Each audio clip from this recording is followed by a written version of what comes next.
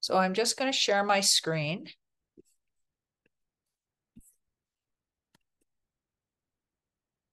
There we go. So today, um, thank you very much, uh, Yvonne, for the introduction. Today, I'm going to talk about breast cancer basics and what you need to know about screening. Here are my disclosures. I'm here on a volunteer basis. I have no relevant financial conflicts, including the fact that I have no financial interest in any of the technologies I will discuss. I'm going to cover all these topics in the next 40 minutes or so. I'll explain what cancer is, what the risk factors are, and what signs of cancer you can look for.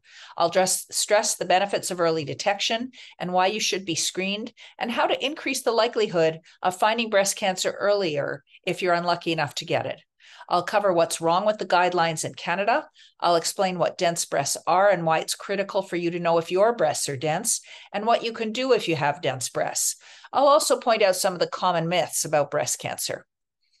Starting with the basics, breast cancer is a disease where a group of cells loses normal control. These abnormal cells grow, usually into a lump, and they invade and damage the surrounding normal tissue. They can spread to other parts of the body, like lymph nodes and other organs.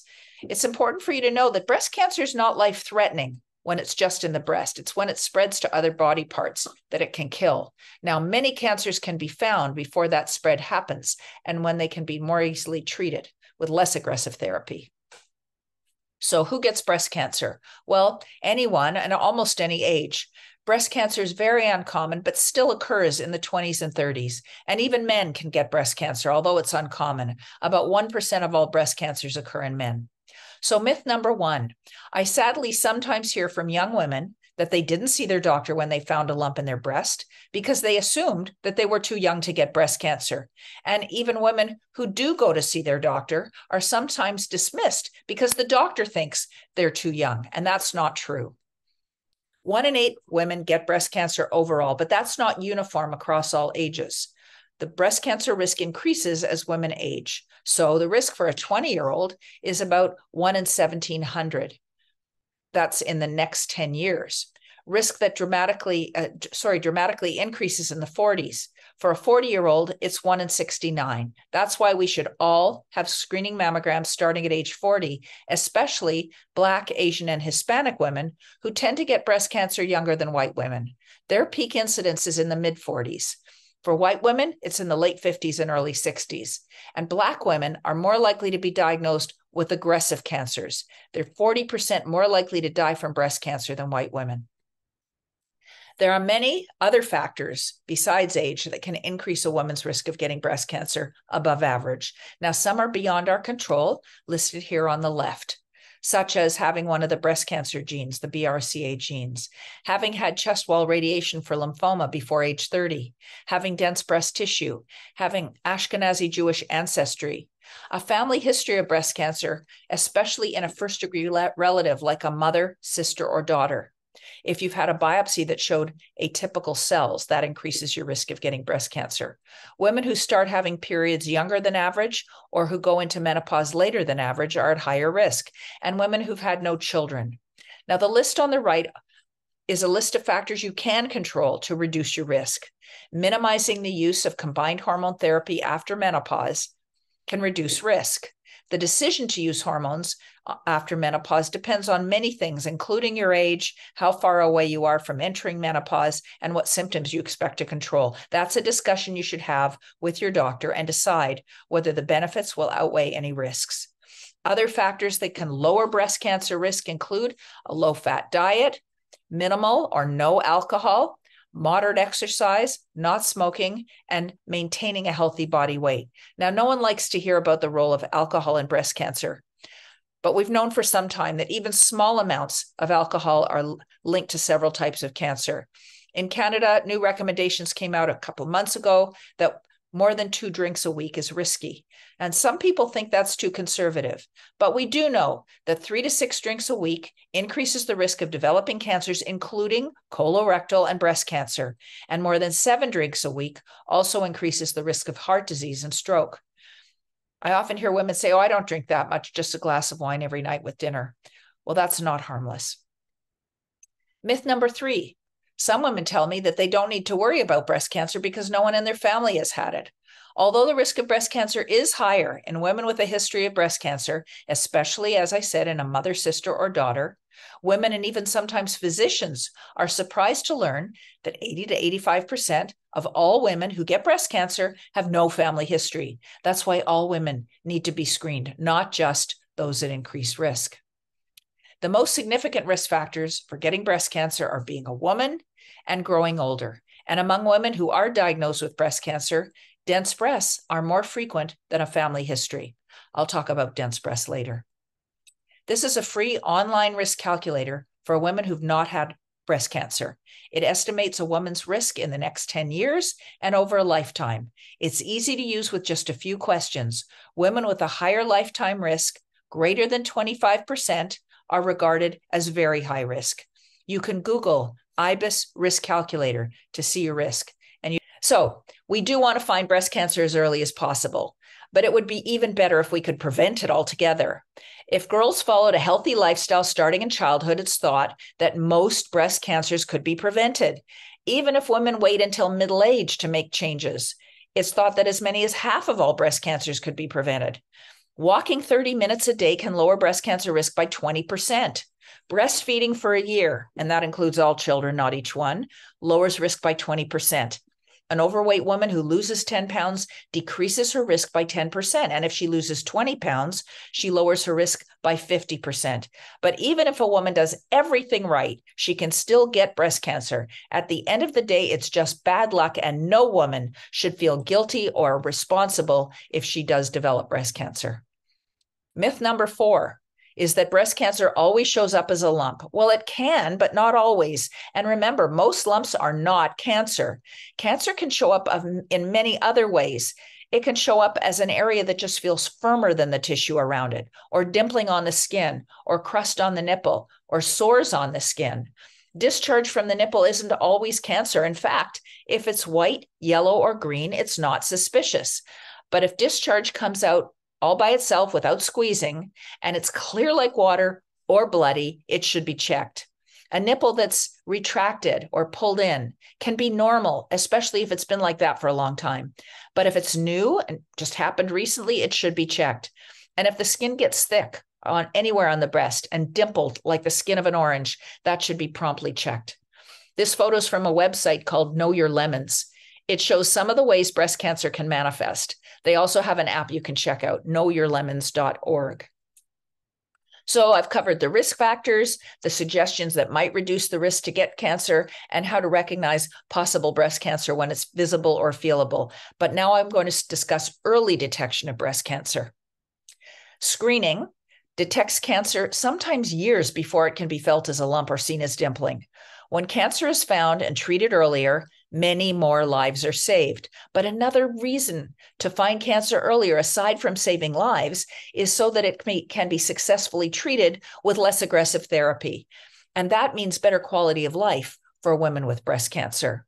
When breast cancer is detected later, mastectomy is usually required. But when we find it earlier, a woman can have a lumpectomy instead.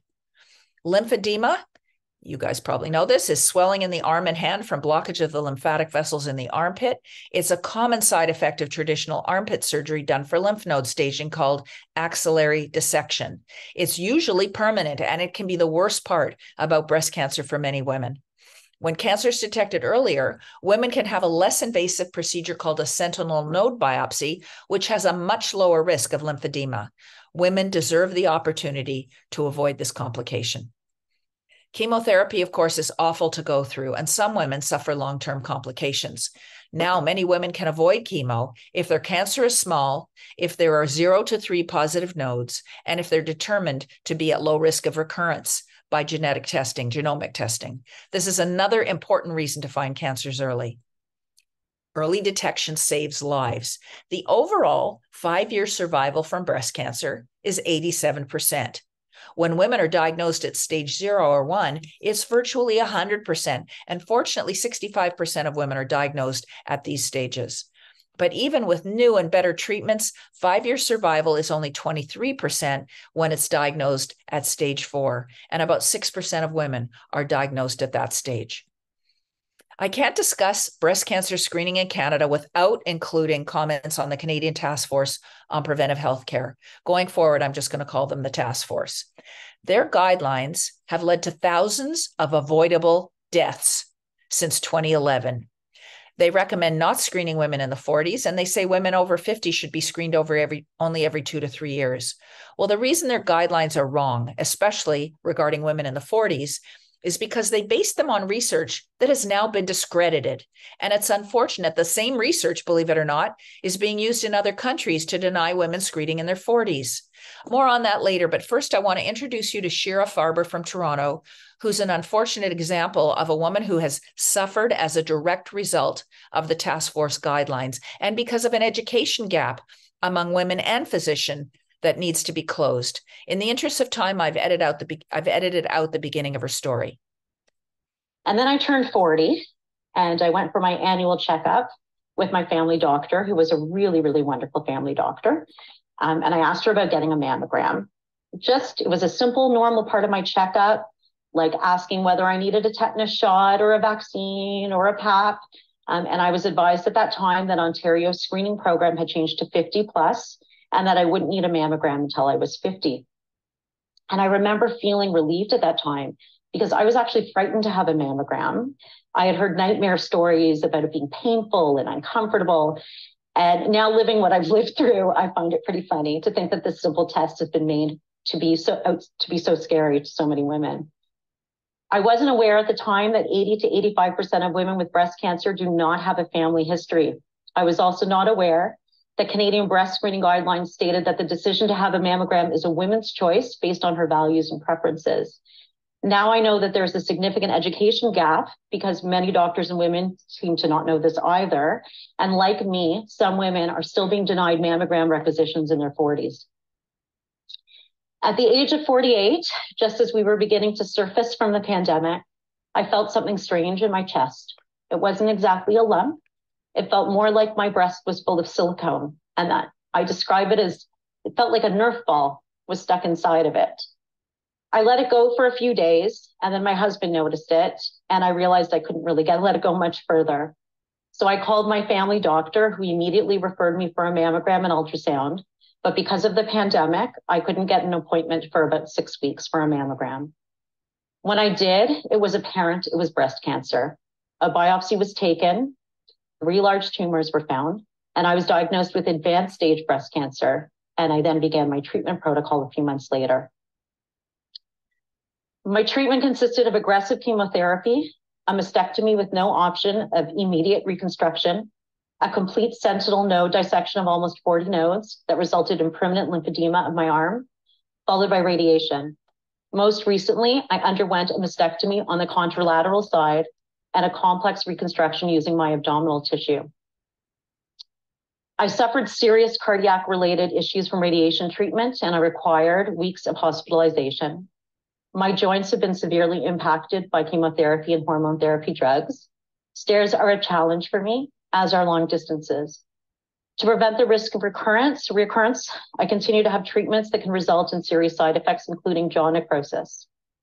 I am doing everything I possibly can to avoid a recurrence so that I can be around to enjoy this next phase of my life. I want to see my children flourish as adults. I want to have grandchildren and I want to grow old with my husband. Sorry. The physical and emotional side effects of treatment have been debilitating. The impact on my family is secondary cancer, I wasn't able to work for over a year. I almost lost my business. I incurred tremendous debt and legal fees to get back on my feet. My husband had to reduce his workload to care for me and our children. Two of my children required therapy to cope with the situational anxiety and stress, and I could no longer be a caregiver to my mother. I have met so many incredible women, also blindsided by a similar advanced stage diagnosis. Two of them, who I shared a very close relationship with, actually we all belong to the uh, High Lifeline support group together. And two of them unfortunately died within the past year, and they've left very young families behind. If you had told me a few years ago that I'd be advocating at all levels of government on this issue or speaking to the media and doing educational webinars like this, I would have told you you were crazy. I've always had a big mouth. I've always advocated for friends and family, but I've never really advocated for myself. I was also quite shy about my body, and I never really wanted that kind of attention drawn to myself. But I did learn in Hebrew school that saving one life is equivalent to saving the world. And I believe that by sharing my story with other women so that they can become more educated on the issue, I am hopefully making a difference. Canadian breast screening guidelines ignore current evidence and recommend screening at 50. Many provinces ignore the guidelines and begin self referral at 40. The women of Ontario and all Canadian women deserve the same chance to find cancer early as a woman living elsewhere in Canada. The Canadian Cancer Society recently withdrew their endorsement of the breast screening guidelines. They believe there is an obligation to ensure guidelines are keeping pace with newer research and the needs of our diverse population. This should include screening women at 40 because it saves lives.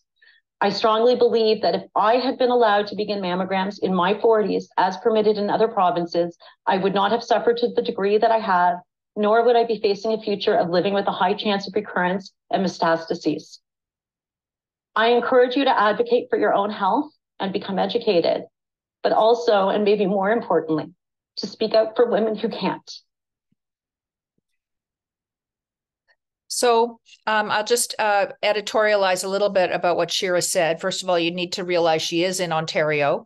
And in British Columbia, we're very lucky that our screening program from the get go has allowed women to self refer for screening mammography starting at 40. But because women don't know how important it is, only about 25% of eligible women in the province are having those tests. Uh, so I hope you'll all be more interested when we finish this lecture. The other thing to mention is she did mess up a little bit when she said she'd had an extensive sentinel node biopsy and they took out 40 lymph nodes. She had an axillary dissection, uh, and and that's important because she did get uh, lymphedema. So now I want to talk about uh, some of the tests that can be used to screen for cancer, and I'm going to discuss them uh, in more detail. But before we do, um, I want to mention breast self examination. Um, and I'll, I'll, explain later why I'm a big proponent of uh, breast self exam, but I want you to realize thermography has been completely discredited for screening uh, by both FDA and Health Canada. It can find big cancers close to the skin, but we don't have trouble with those. And it misses smaller cancers deeper in the breast with an unacceptably high false alarm rate. So um, thermography is off the table.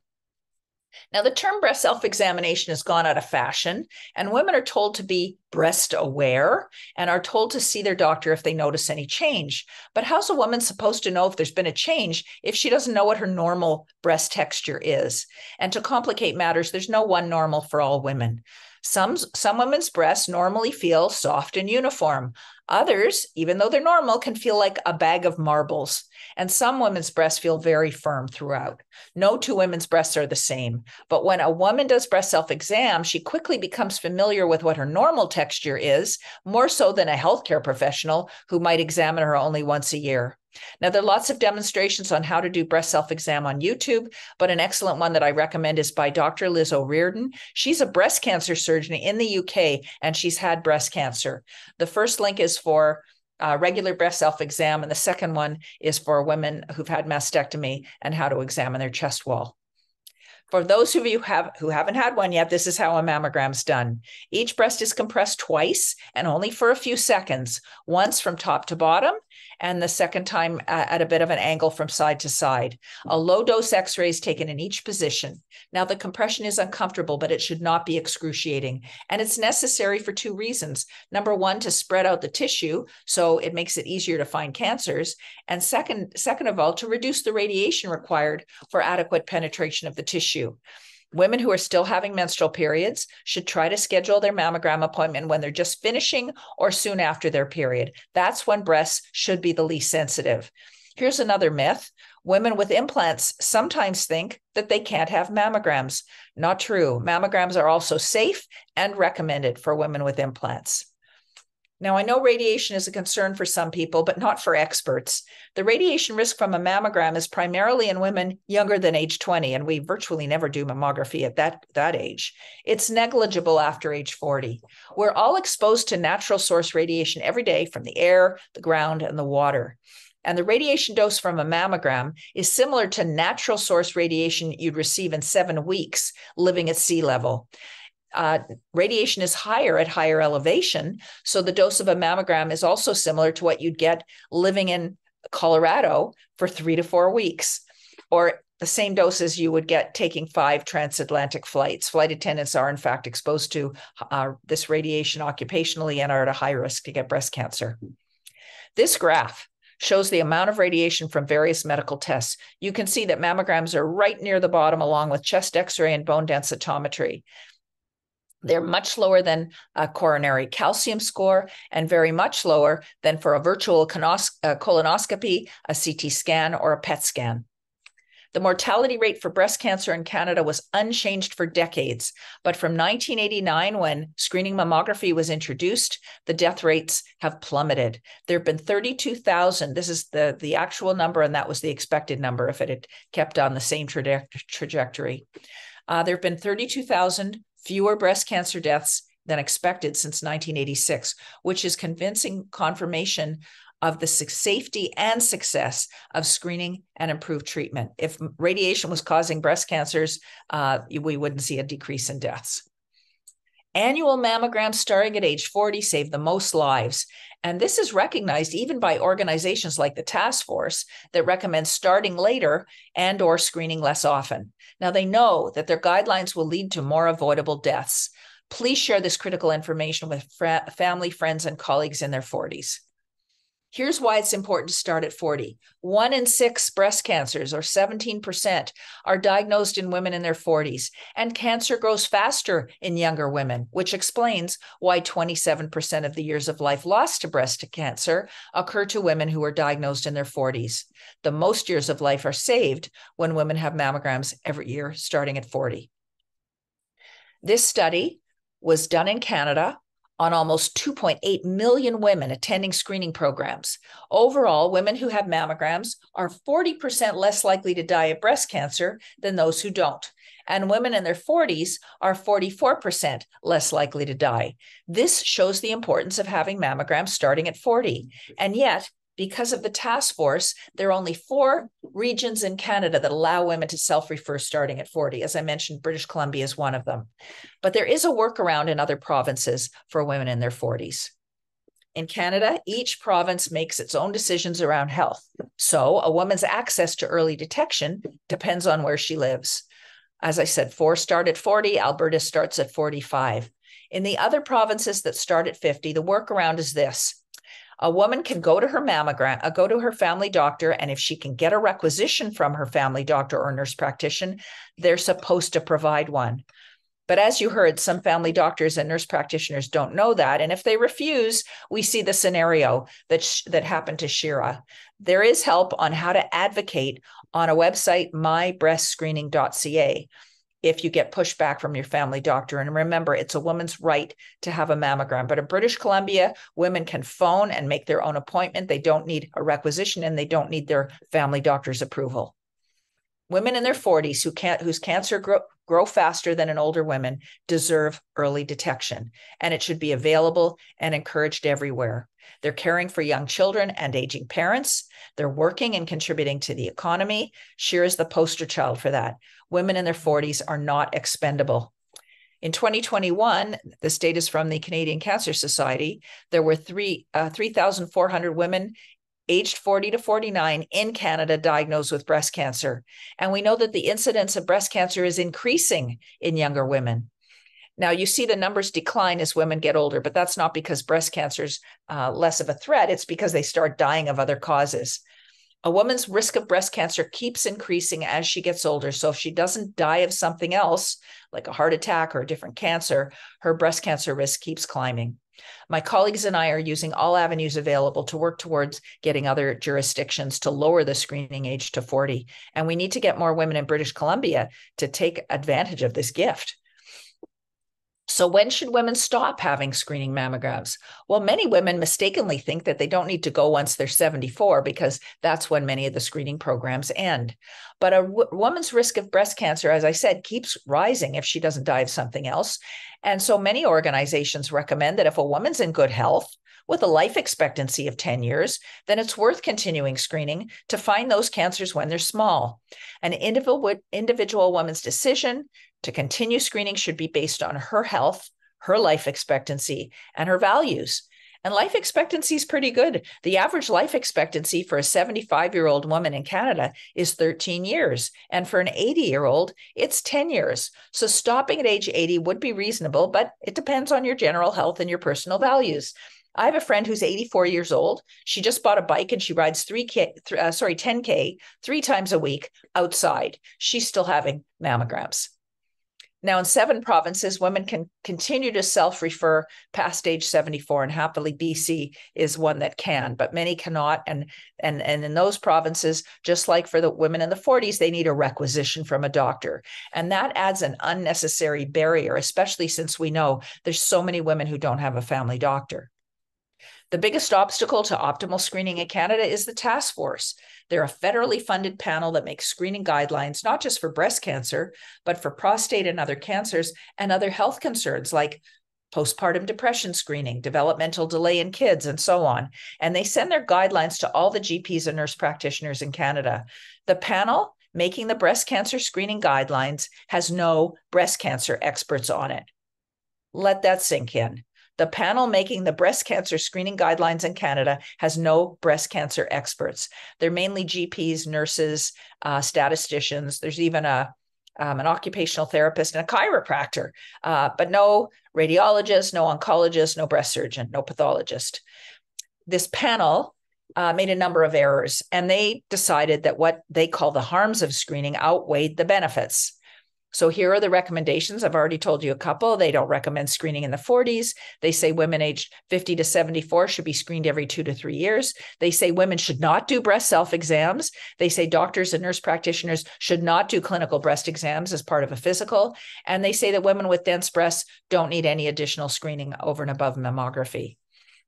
Now, um, in British Columbia, we started out with the best program. In 1988, all women over 40 could come every year, and they've they've taken uh, away um, accessibility gradually over the years. Right now, um, the only women who can go every year in BC are women with a first degree family history of breast cancer. But I told you, 85% of the women who get breast cancer have no family history, which means that the vast majority of women who will get breast cancer don't have the same opportunity for early detection. Now, given that mammograms save lives and improve the quality of life for women with breast cancer, you might wonder how could they arrive at these guidelines? Well, in their estimation, they say the harms of screening outweigh the benefits. Well, what do they call harms? They're not really harms, but they're risks. The harm that they're most concerned about is the anxiety women experience if they're called back for more tests and turn out not to have breast cancer. And they make them sound worse than they are by calling them false positives. False alarms happen with all screening tests, like pap smears. They certainly cause anxiety, but it's short lived and it's been shown to be reduced if women are informed about the possibility of that happening, which is one of the reasons I'm giving you this talk. If you go for your first screening mammogram, that's the time you're most likely to be recalled because we have no priors for comparison. So um, women need to know about the possibility they're going to be recalled. And here are the actual numbers. For every thousand women who have a screening mammogram, about 930 or 93% will get a normal result. 7% or 70 women will be recalled for additional tests. The majority of those women will only need one or additional mammographic pictures. Some will need ultrasound. And of the 70 recalled women, 11 of them will need a needle biopsy. Now, those are done with local anesthetic, and they should not be significantly more painful than a blood test. Of the four of the 11 women who have a needle biopsy, four of them will be diagnosed with breast cancer. In this comic, the task force member is saying, yes, regular mammograms and early detection would have saved your life. But aren't you glad we spared you all that anxiety? The task force literally thinks it's more important to save some women anxiety from being called back even though they know that more women, including young women, will die. This is patronizing and condescending. Women can tolerate some transient anxiety, and they should be able to decide for themselves whether they want to be screened and have the opportunity for early detection. The women I see who are the most anxious are those who find out that they have cancer and that it might have spread to the lymph nodes and that it might have been found earlier. They are anxious and justifiably angry. Someone should ask the task force how many women is it okay to die unnecessarily to spare a handful of women some transient anxiety? You should know that the cutoff age for 50 has no scientific basis as a threshold for starting screening. Please share this information with your friends, family, and colleagues. Another risk of screening. We yes? just had a question pop up in the chat. Yeah. Um, asking exactly what does self-referral mean? Self-referral means you you can phone the screening program. There's a there's a one eight hundred number, or if you know you which clinic you want to go to, you can phone the call it that that uh, clinic directly and book your screening appointment. The only requirement, and this kind of sucks, is that you need to be able to give the name of a family doctor, nurse practitioner, or naturopath and and BC is the only province that requires that. So that means a woman who doesn't have a family doctor can't have a screening mammogram in BC. Okay, that's what self referral means. You don't need a requisition. I hope that answered the question. Okay, so carrying on, and and um, I forgot to say at the beginning, oh, like I forgot to push the record button. Um, if you have questions, please put them in the chat. We'll try to keep most of them to the end, but Yvonne, feel free to interrupt me if anything is really pressing. So, another risk of screening is called overdiagnosis. And that's a little more difficult to explain. It refers to a real cancer, which, if not found by screening, would have not affected a woman's life because she would have died of something else before her cancer killed her, like heart disease or a different cancer or even a car accident. Now, overdiagnosis is more likely in older women because they have a higher likelihood of having a competing cause of death. The task force thinks that around half of all cancers are overdiagnosed, which is ridiculous because they based their estimate on that flawed study done in Canada I told you about in the 1980s. Most experts agree that overdiagnosis occurs in 1 to 10% and it's negligible in younger women.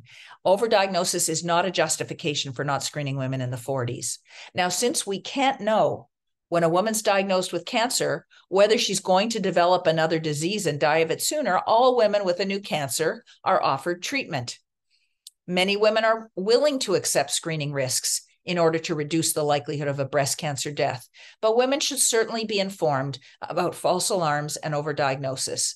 It makes no sense to deny women the opportunity to find potentially lethal cancers to avoid hypothetical overdiagnosis. So if you don't have a crystal ball and if you don't know that you'll be killed in a car accident or have a fatal heart attack in the next couple of years, mammography is a good bet. The optimal frequency of screening is annual, starting at 40. But no province, no jurisdiction in Canada actually does that. More frequent screening is especially important for younger premenopausal women whose cancers grow faster. All provinces allow annual screening for women with a mother or sister with breast cancer. But I've told you twice now 85% of women who get breast cancer have no family history. Some provinces allow annual screening for women with the densest breast category, but that's only about 10% of women. So when our provincial screening programs don't offer ideal screening, it's not just because they don't want to pay for it. It's because they accept guidelines from a task force who think that women shouldn't have to suffer some transient anxiety from a screening recall, even if it increases their risk of dying of breast cancer. And many don't realize that experts strongly disagree with the task force guidelines. Now, although mammograms are important, they are not perfect. One way they're not perfect is the false alarms, detecting things that aren't cancer, like cysts, for example. Another way they're not perfect is that mammograms don't detect all cancers. Women with dense breasts and women at higher than average risk, including survivors of breast cancer and those with genetic mutations, need other screening in addition to mammography. I'm going to briefly discuss some of the tests and I'll explain them in the context of dense breasts. So, the best way to explain density is with pictures. Dense tissue is the main reason that cancer can be missed on a mammogram. This is an obvious cancer in a 55 year old woman, or 50 year old woman, actually. Um, and it's really easy to see in her because the cancer is white. All cancers are white, but the rest of her breast is dark gray, and dark gray tissue on a x ray is fat. So, please just remember what this cancer looked like for the next few slides. Here's a mammogram in a woman with almost entirely fatty breasts. And if she had that cancer, we'd have no trouble seeing it. Here's a woman with a little bit more uh, white stuff in her breast. They're not all fat. And that white stuff is normal breast tissue, which is also white. If she had that cancer, we'd have a good chance of seeing it. But these breasts are normal too, and they've got way more normal, dense breast tissue, and it becomes harder to see breast cancer which is white in a background of normal white. We uh, we can say it's like looking for a polar bear in a snowstorm. We might see a cancer in her if it developed up here, but if it was behind her nipple where the arrows are pointing, we might not see it.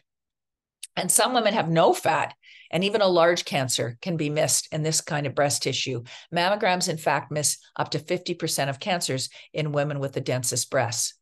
Now, breast density is divided into four categories, A through D. Those are the pictures I just showed you. Entirely fat, scattered densities, heterogeneously dense, and extremely dense. Um, categories C and D are dense. Categories A and B are non dense. The denser the breast, the more likely that a cancer can be missed. Cancer can be missed in a breast of any density depending on where the cancer is located and how much dense tissue there is. This animation shows how a small cancer, easily seen in a fatty breast, can be masked in a dense breast, or even in this case, it could be masked in a hardly any breast tissue category B if she's unlucky enough that her cancer superimposes what little dense tissue she has. Breast density can only be determined by a mammogram. You cannot tell by a breast exam, neither a patient or a doctor because fatty and dense breasts can feel soft, they can feel firm, or they can feel lumpy. A radiologist looking at the mammogram makes a decision as to what category the woman is. And nowadays, there's software gradually being implemented, which will be more objective in assigning a breast density category. Women who aren't having mammograms can't find out their density. Now, dense breasts, you need to know, are normal and common. In fact, more than 40% of women over the age of 40 have dense breasts. But women need to know if they have dense breasts so they can understand the implications. In Canada, there are about 3.6 million women over age 40 with category C and D, and about 600,000 of them are in the highest D category. Yet until 2018, no women in Canada were being told their breast density. Dense Breast Canada is an education and advocacy nonprofit founded by two breast cancer survivors whose cancers were delayed in diagnosis because they had dense breasts. And thanks to the tireless work of their volunteer advocates, seven Canadian provinces now directly inform women, all women, of their breast density in the mammogram results letter they get in the mail after a screening mammogram. Uh, British Columbia was the first in October 2018. Three more have committed to starting this year. So this is all a result of adv- advocacy by volunteers. When a cancer is not detected on a mammogram, it continues to grow and potentially spread. Now, usually those are found as a lump after a woman's last mammogram was negative, and we call them interval cancers because they're found in the interval between planned screening mammograms. Interval cancers tend to be larger and more often spread to the lymph nodes. They tend to be more aggressive and women with interval cancers have a worse prognosis than women whose cancers are found on a screening mammogram. The biggest risk of dense breasts is the masking of cancers leading to interval cancers. But here's the double whammy the denser the breast, the greater the risk of getting a breast cancer. And we've known since the 70s that just having dense breasts is an independent risk factor for developing cancer. Women in category D, that densest category, are five times more likely to get breast cancer than women in category A.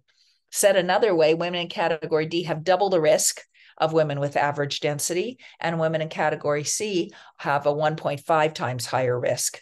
Having dense breasts is the most prevalent risk factor for getting breast cancer, even more than having a mother or sister with breast cancer. Not surprisingly, dense breasts also increases the risk of an interval cancer. Women with the densest breasts are 13 to 18 times more likely to have an interval cancer than women with fatty breasts and with worse outcomes. This study was done in the Netherlands and it confirmed that women with dense breasts are discriminated against if they only have access to mammograms for breast cancer screening because they, those women don't benefit as much. Women with dense breasts reduced mortality by only 13%, whereas women with fatty breasts showed mortality reduction of 41% with mammograms. The good news is that we can find many of the cancers that are missed on mammograms when they're small with supplemental screening, and we can prevent them from becoming interval cancers. Here's how.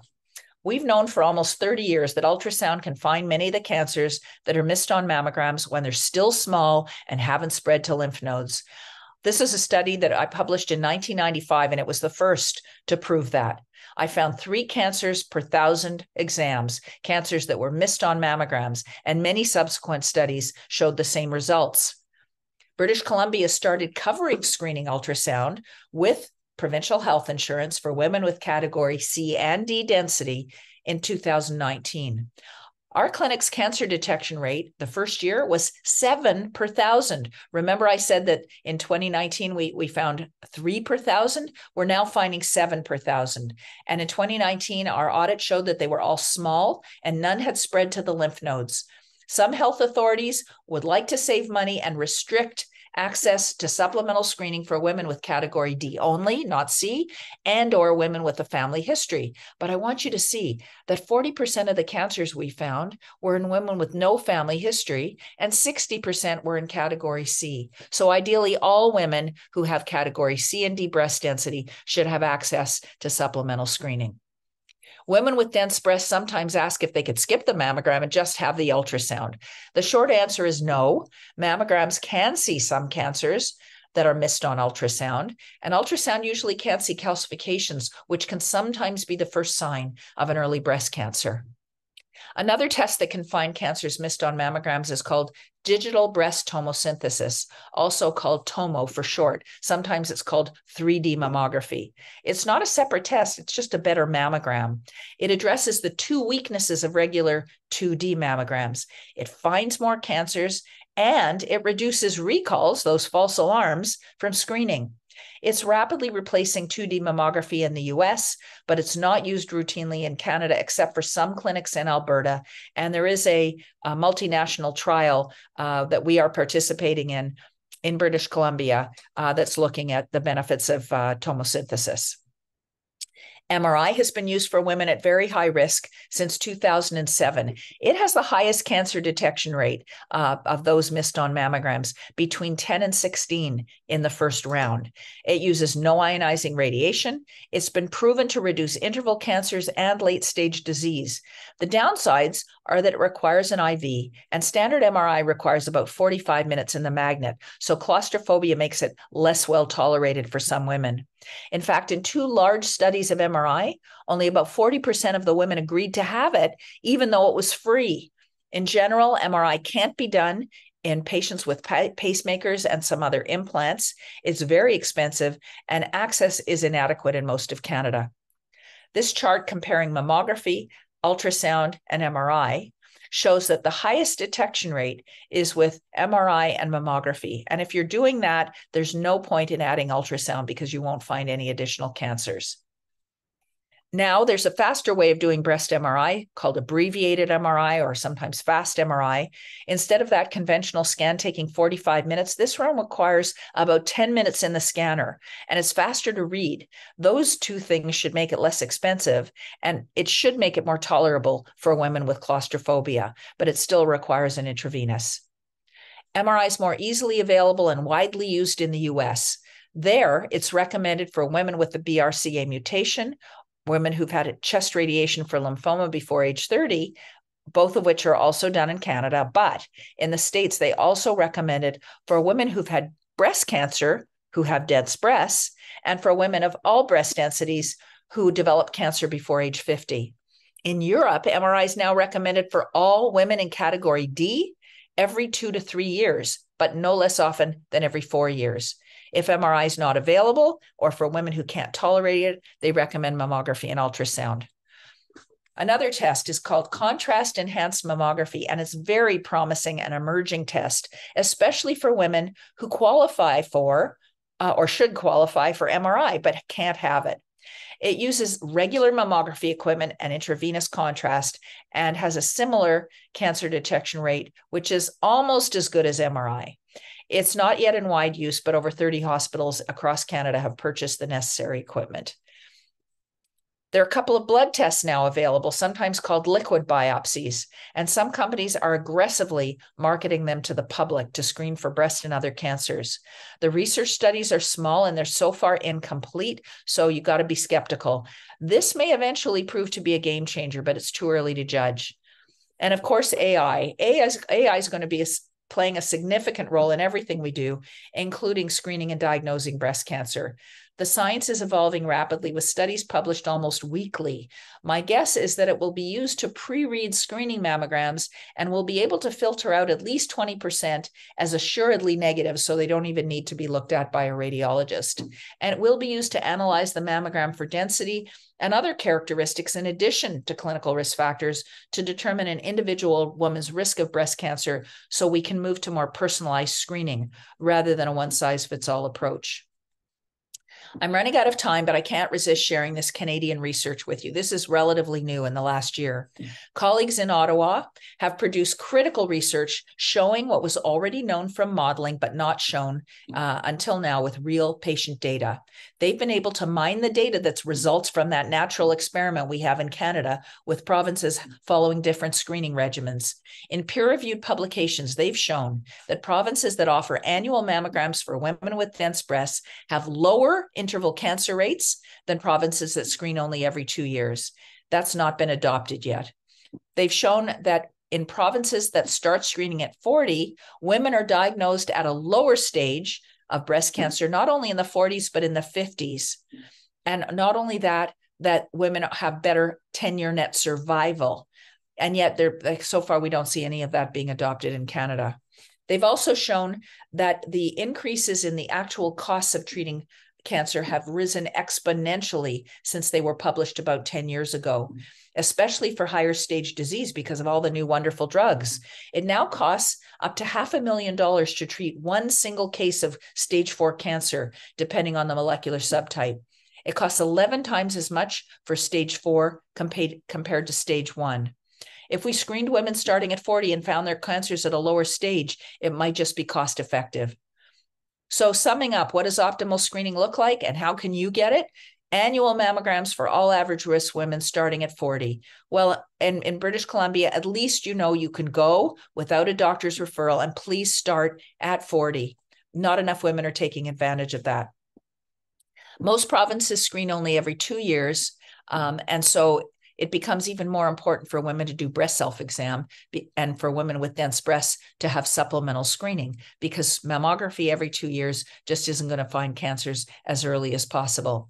Women should keep screening um, as long as they're in good health with a life expectancy of seven to 10 years. So if you're in a province that, that doesn't allow women to self-refer after 74, get a requisition. Hopefully you can have a get a requisition from a family doctor. All women should know their breast density, and women with dense breasts should have access to supplemental screening, usually with ultrasound. The high risk women, very high risk with MRI or contrast mammography if it's available. So ask for a requisition. Let go of these myths that breast cancer only occurs in middle aged and older women, that you won't get breast cancer if you don't have a family history, that all breast cancers can be detected on a mammogram, that breast cancer always appears as a lump that compression of the breast and radiation from a mammogram can cause breast cancer, and that you can't get screened if you have breast implants. These are all false. Now, everything I discussed today can be found in this free guide on the Dense Breast Canada website. And you'll also find this free toolkit on how to advocate for yourself if you need it. And this uh, is mybreastscreening.ca. There are scripts you can use uh, to advocate yourself for yourself with your GP or nurse practitioner. And you'll get all this in the recording. These are all the uh, references I cited on my slides. So thank you for your attention, and I look forward to your questions. Take it away, Yvonne. Okay, great. Thanks so much, Paula. Just wanted to thank you for that presentation. And I couldn't help but notice during it that the policies in BC are better than other parts of Canada. And I bet you had something to do with that. So thank you for that. Maybe not. um, so I've got a couple questions here. Um, the first one is what do you do if you don't have a family doctor or nurse practitioner? Can you get a referral from a walk in? Yes. Do everything you can to get, you don't even need the referral. You just need to give their name that they will, you know, accept your report. And the, the their justification, I've been trying, you know, other we're the only province that does that. And when I say to them, come on, the, the, why don't you figure out a way around this like every other province has? And when the when the um, program was instituted, what they were worried about is that a woman with an abnormality might fall through the cracks and not get investigated. So now instead they're letting women fall through the cracks by not even doing the mammogram, but that's another story. So yes, um, beg borrow steal ask your friends to ask their family doctors if if they'll accept you just so you can have your screening mammogram and would your results be mailed to you then if you don't have a physician to follow? Yes, every woman who goes to the screening program gets a copy of her result in lay language. The family doctor gets a report and the patient gets a report. And starting in 2018, that's when they added to the mammogram report, like, congratulations, your mammogram's negative. They'll say, you have breast density a, B, C, or D. Now, BC is guilty of this, but so are other provinces. They'll tell you your breast density, but then they play down the significance of having dense breasts. And um, I've, I've seen some of the other provinces, they even make it sound like only category D really matters. But you just saw, I mean, 60% of the cancers that we found with screening ultrasound are in women with category C. So those women deserve to get supplemental screening as well. Great. Uh, I have another question here. Women in mid 50s in C density. How often um, should I have mammogram plus ultrasound? Yearly? Um, ultrasound be self referred? Okay, so um, with the mammograms, if you don't have a mother, sister, or daughter with breast cancer, you're only going to be allowed to go every two years for the mammogram. For screening breast ultrasound, you need a doctor's requisition. You need to be category C or D, and the doctor has to be willing to give you a requisition. And if for any strange re I mean you can tell them it's covered by MSP and they should be able to confirm that. But but look on that toolkit on uh, mybreastscreening.ca it'll tell you how to talk to your GP and of course nobody wants to piss off their family doctor now and get fired because there are no family doctors to you know to be had. But um, what we recommend is don't have your mammogram and ultrasound at the same time. Because you're if you're having your mammogram every two years if you had your mammogram and ultrasound together then you'd be two years with nothing. What we recommend is that you have the mammogram halfway sorry the ultrasound halfway between screening mammograms. So if you're having a mammogram every two years at time the time one have your mammogram. A year later have an ultrasound. A year later have a mammogram and so on. And that way you're getting checked in some way every year and breast self exam, they used to make women feel guilty if they didn't do it every month.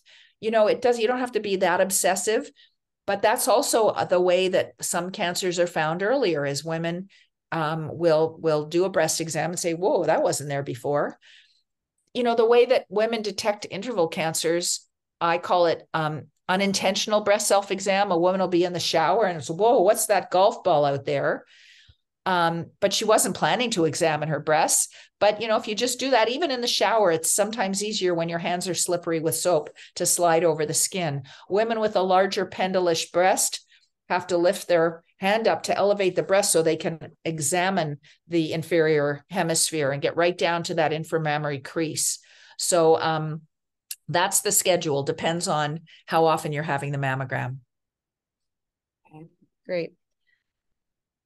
I have another question here. Um, I think it just sounds like perhaps the person's experience is a bit different than what you reported here. But how do you get the breast density results after a mammogram? I have asked and was told it, it was not available and a special test is required. Oh no no no no. Well, for a while, some of the radiologists were rebelling and weren't weren't, weren't even marking it on the report form, but they have to now, and uh, that only started in October 2018 if you've had a mammogram through the BC screening program uh, since uh, October 2018, it's on the report you get in the mail. Now, if you're for some reason not going to the screening program and you're having a diagnostic mammogram, it should be in that report, but it's less reliable. And then you do have to ask your doctor. But the screening program, everybody finds out. Um, I just saw this uh, comment come in, and I want to tell you that it doesn't apply anymore. I was told at the screening clinic that you could book the mammogram anytime after 18 months.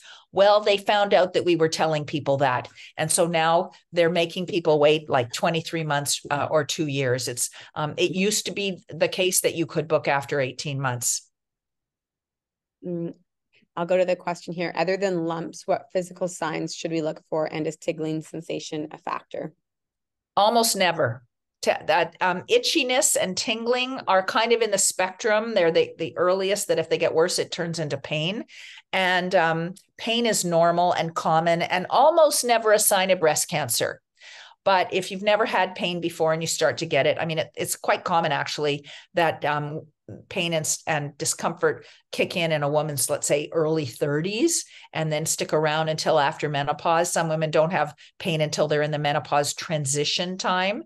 But pain is not a bad sign. It's just, it's not a reliable sign one way or the other. And if you're due for your mammogram, have a mammogram. Uh, there's a question here about um, uh, somebody has breast density D and the mother died of breast cancer. Um, just having a mother with breast cancer and do that risk calculator, that IBIS risk calculator.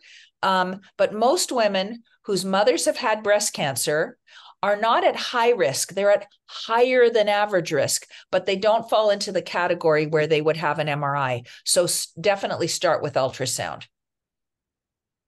Great maybe we'll just field that last question here and then we can finish up on time, which is great. Um, so what is the difference between a regular mammogram and a diagnostic mammogram? Okay, a, a, screening mammogram is one do, done through the BC Cancer Breast Screening Program. It's for women who aren't having any problems with their breasts. They're just going to get screened to find what you know what they don't expect. If a woman has a breast complaint, um, a symptom like a lump or discharge or sometimes pain, then she's referred for a diagnostic mammogram, and you need a requisition for that. For screening, if you're having no problems, you don't need a requisition. You go to the screening program. The two examinations start out the same. A diagnostic mammogram starts with four pictures, two of each breast, like I showed you. But the difference is that on a screening mammogram, the pictures are taken and they send you away. They're usually read within the next couple of days. And if there's anything that needs any more attention, then you are recalled. Theoretically, with a diagnostic mammogram, if there's something that needs more pictures or any additional investigation, they try to do it on the day you're there for that mammogram. So you don't need to be recalled. But depending on how busy the clinic is and whether there's a radiologist um, working there that day, um, sometimes that doesn't happen, which isn't ideal, but just that's life.